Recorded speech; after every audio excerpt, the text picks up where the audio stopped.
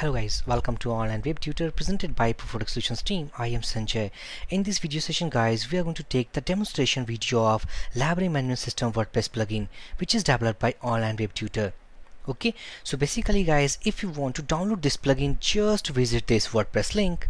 If you go to browser, just type on the Google that is something called Library Management System WP plugin. So if you search that, you get the first link about Library Management System plugin just click on this link. After clicking on that you will get a link something like that. This is the WordPress plugin guys which is developed by online web tutor.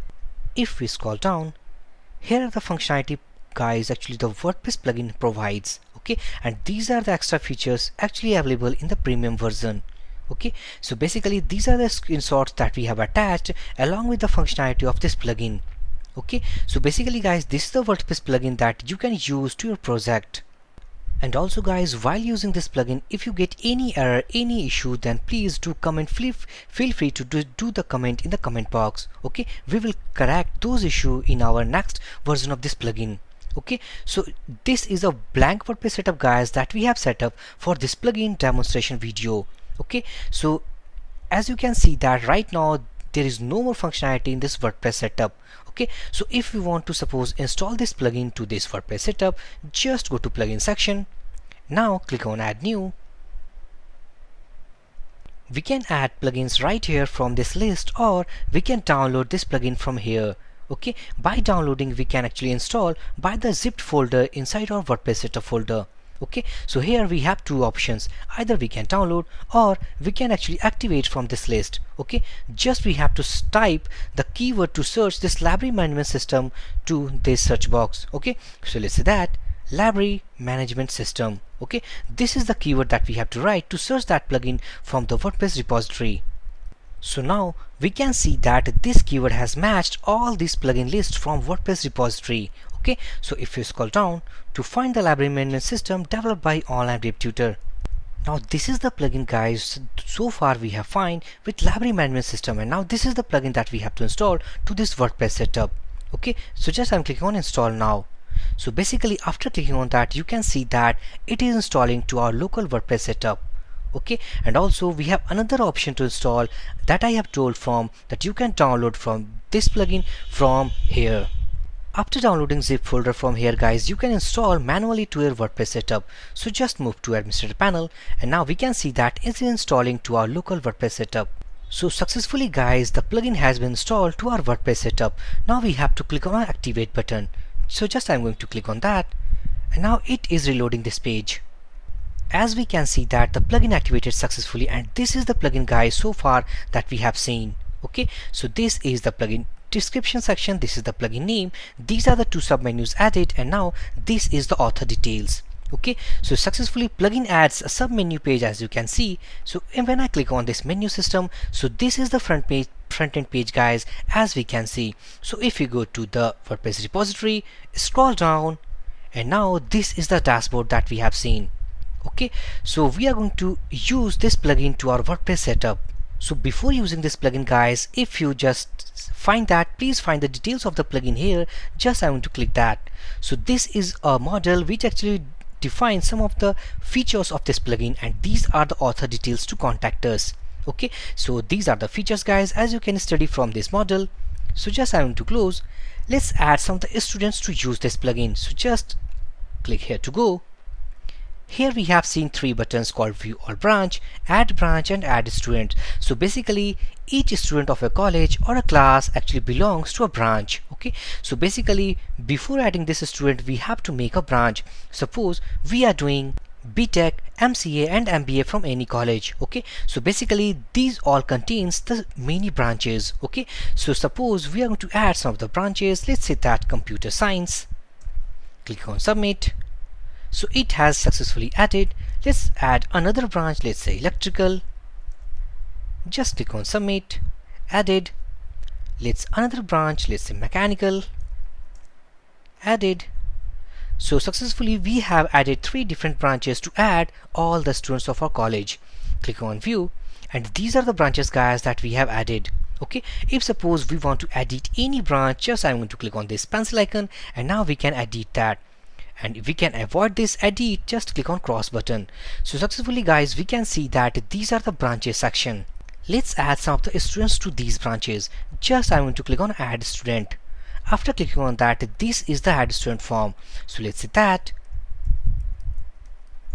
Let's say 1005 this is the registration ID registration ID guys should be unique to each student okay? Let's say that. This is the student name. Class should be computer science. Here is the email so let's say abcd at gmail.com phone number something dummy value. So just I'm going to put some dummy value. Address info.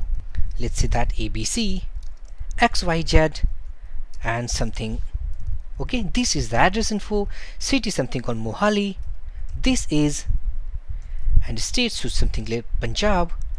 Country should be something called India. Okay so these are the details guys that we have filled. Father's name let's say xyz mother's name let's say pqrs here is we have to provide the parents phone number. Okay so right now let's pass some value dummy value.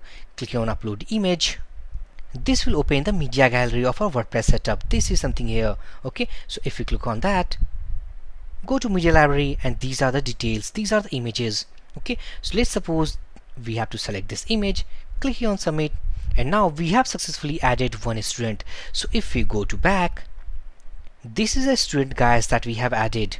If suppose we want to edit the de these details of a students we just click on this pencil icon okay? By clicking on that we can edit any details of this student. Okay? So just back. And now these are the, all the branches we have added. Here we can add branches. And now by clicking on this button we can add students. Okay? Next we have to add called staff. Okay? This is also a core department of any college or any anything institute okay something suppose that there are many faculties which is non-technical which is technical and many more if they want to receive or issue any book from library then they can also use. Okay so here we have provided called add staff type. What is staff type actually using this library system? Okay and by default guys we have provided two things like teachers and non-teaching. Okay so let's suppose that add staff type. We can add something else let the teachers associate with labs okay? So this is type type called labs okay? So basically we have three staff types as we can see from this list. We can also edit from there okay? So if suppose we want to add any teachers staff from these categories we can add by the help of this form okay? So let's say that stf something dummy id let's say that this actually registration should be a teacher. Let's say that this is the teacher name. Something id something dummy value. So let's ravi at gmail.com something phone number. We have to select an image of this faculty. Just I'm going to click on this. And we have to pass some address. So let's xyz dummy address. Okay. And city something called Mohali. It says should be something called Punjab.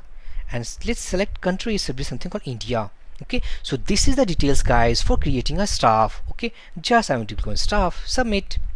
And we have added successfully a staff into this library system. So if you go to staff list this is the staff that we have created. So if suppose guys we want to edit these details we can just click on this pencil icon and we can edit all the details of the faculty. Okay? So just back now it's time to add books. Basically we have added so far students and staff to this library system. Now it's time to use the resources of this library system.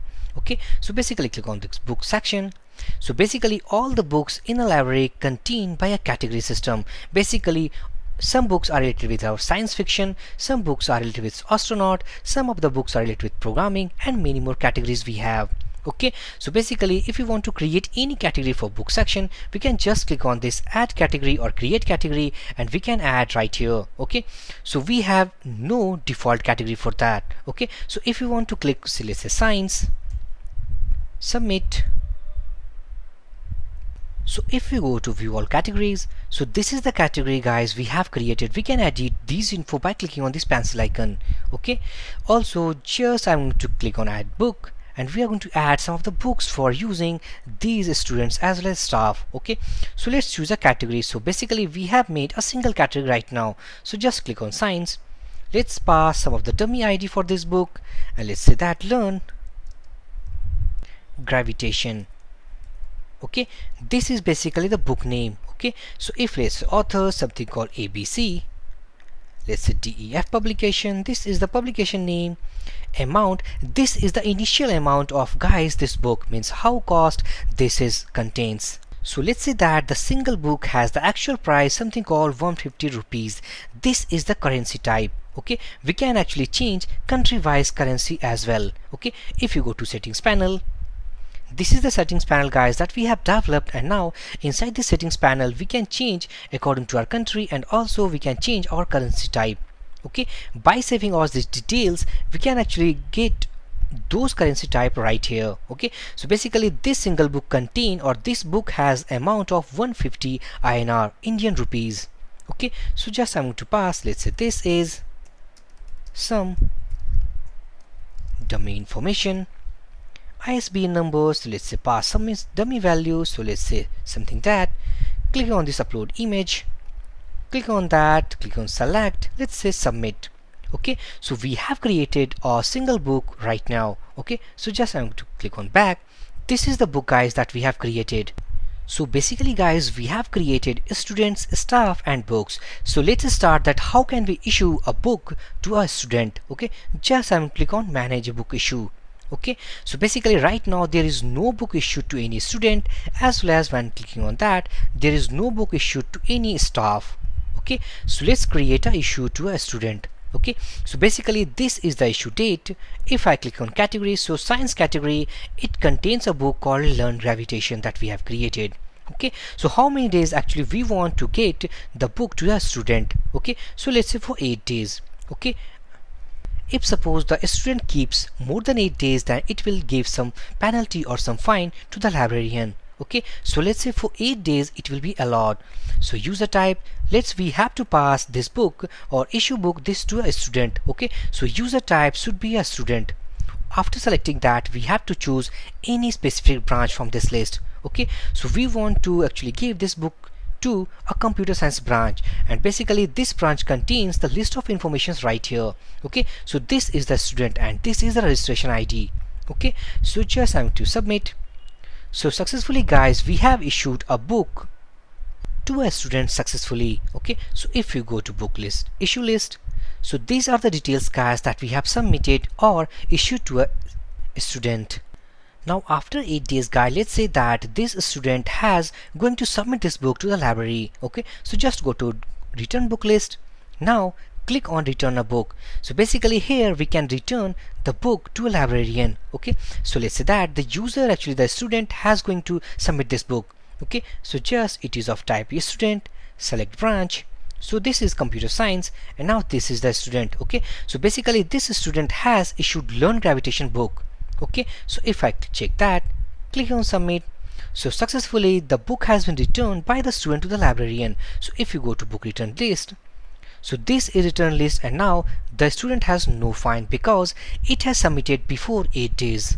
If suppose that student keeps more than 8 days then now it has to pay some fine to the librarian. Okay so just I'm going to create a new issue to this student. Okay so just I'm going to click on manage book issue create on issue a book let's say that this is we are going to create a science category choose book this is for five days only and user type should be something called teacher. And this is Ravi Raman. This is the st staff that we have created successfully submit. And now we have created a issue to this staff type. Okay just back to issue list. Click on book issued to staff and this is the book that we have issued to this staff so basically guys, I have changed the issue date to see the fine details of this library management system plugin. Okay, so basically if I refresh this page, so this book has been issued to this staff on the date called 25 October 2018 and now it's 6th of November. Okay, so if you go to manage book return, click on return a book, select teacher type, let's say that Ravi Raman, he has a book called Learn Gravitation. So let's say book return click on processing and now the book has returned successfully. So if you go to book return list click on return book by staff and as we can see that it has some fine. So if I click on view fine details as we can see that the user has kept extra set days equal to 7 means 7 days extra he has been kept the book okay? And now we have saved the per day fine rupees 1 okay? So basically 7 into 1 basically 7 rupees okay? So we have to submit this payment to the librarian before issuing a new book okay? So if suppose we are trying to actually issue a new book to that staff click on issue book. Let's say that science something called learn gravitation. Let's say 14 days user type something your teacher. And now we know that this staff has to pay some fine to the librarian. So before that he has not allowed to actually issue any book. So just I'm click on submit. As we can see that the staff has late fine of last book issued needs to submit first. Okay? So basically guys he has to submit the late fine of the last book issue before submitting or before creating adding any new issue so just go to manage book return clicking on return a book back just return book by staff and view fine details suppose the user has submitted by cash 7 rupees I'm clicking on mark paid. It means that the user has paid all the late fines okay? So successfully in the next step we can actually issue the new next new book issue to the staff okay? So let's science learn gravitation let's say 10 days choose teacher Ravi Raman and now the book has been successfully issued to the staff.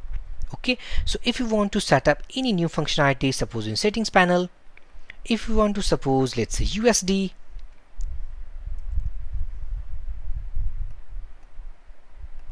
this is for United States America we need to change the amount let's say 5 USD per day. Needs to save settings so before that we have to select country. So let's say United States.